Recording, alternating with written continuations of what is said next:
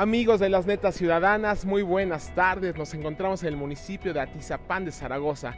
Estamos hoy con una persona de 100, ¿qué digo de 100? De 1000, con la maestra Mari Corona. Bueno, pues eh, yo soy una persona que desde, desde mi niñez empecé a cantar que por la, escuela y que pues así me fui dando a conocer hasta que llegó el día en que pues allá en el pueblo sabían que cantaba y los 15 de septiembre me invitaban a cantar con mariachi. Después llegué a, presentarme en Televisa en aquel entonces. El pianista de Santanera es mi tío, era mi tío, Antonio Casas Martínez. Él fue el que me, me inculcó para ir a la prueba de Santanera. Sí la pasé, pero ellos optaron por decir que ya no querían vocalista porque ella es la que se llevaba las palmas.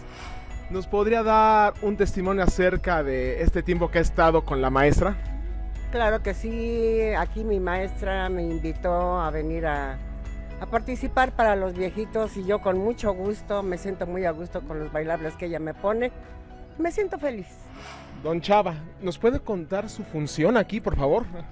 Pues yo aquí este, vengo a, cuando me invitan a cantar, yo vengo aquí a cantarles y después aquí la, maestra me empezó a, a, decir que pues que no imitara, que yo, porque empecé cantando como Pedro Infante.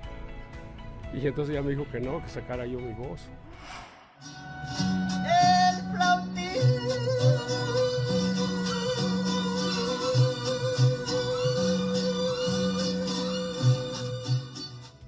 Quiero invitarles al público, al que quiera asistir a uno de los festivales que presentamos aquí en la parroquia de Nuestra Señora de Lourdes, aquí en Jardines de Atizapán. Y esta invitación la hago en nombre también de todos mis compañeros, de todo el elenco, ¿verdad? Y les agradecemos mucho su, su asistencia, su presencia. Y pues adiós, bye, aquí los esperamos.